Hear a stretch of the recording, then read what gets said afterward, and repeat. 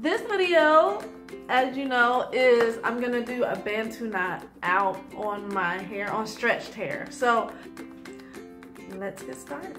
Make note that I'm starting with the front because the front, like from here to here, is the only twists that are gonna be like specially twisted because I'm gonna twist them flat and then from front, from the back to the front they'll sit more like a bang, if that makes sense. I'll be using Miss Jessie's Jelly Soft Curls. So you really want to use a dime-sized amount in this case of gel to put on each section. Um, so I'm just going to flat twist the front.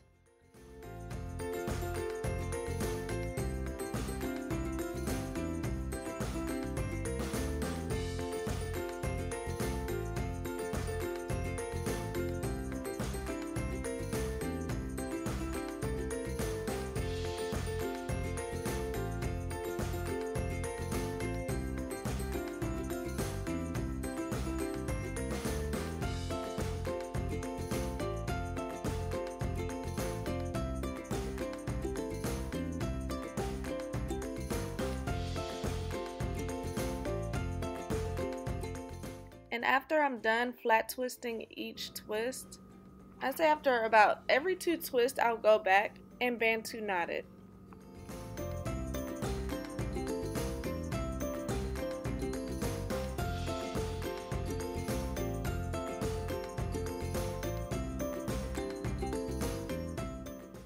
I would like to note that I had to secure some of these with bobby pins so if you're going to do this style, make sure you have a couple bobby pins on hand.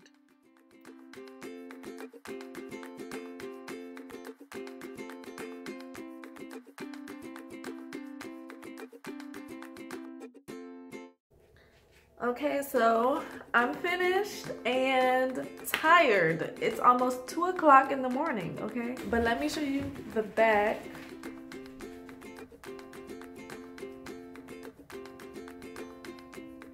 So yeah, moisturize, gel, and um, the well the gel doesn't flake anyway, but I like to put an oil underneath the gel because it prevents it from like getting tacky and sticky, but it still holds. I'm gonna go ahead and put my edge control on my edges and put a scarf on it. And I'll see you guys tomorrow afternoon. Alright, so it's the next day and we're going to start off by taking out all of those bobby pins and then spray it with an oil and then gently take down each uh, twist.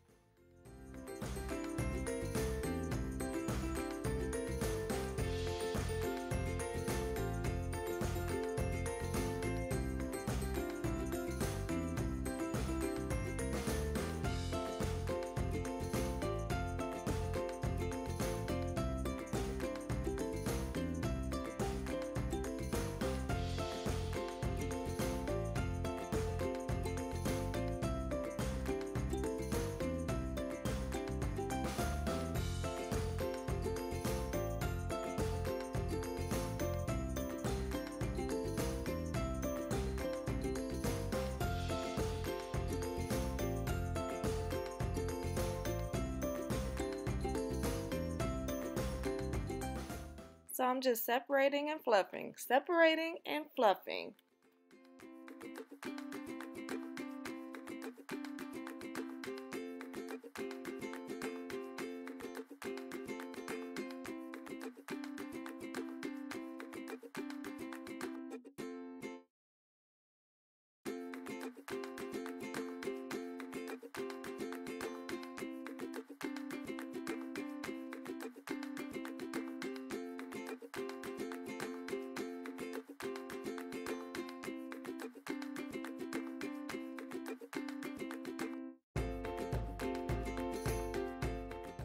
So it was actually raining that day, so I decided to put a little scarf on to help preserve the style a little bit.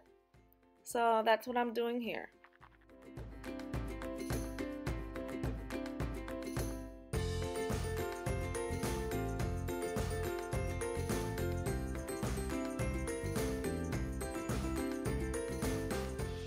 That's it.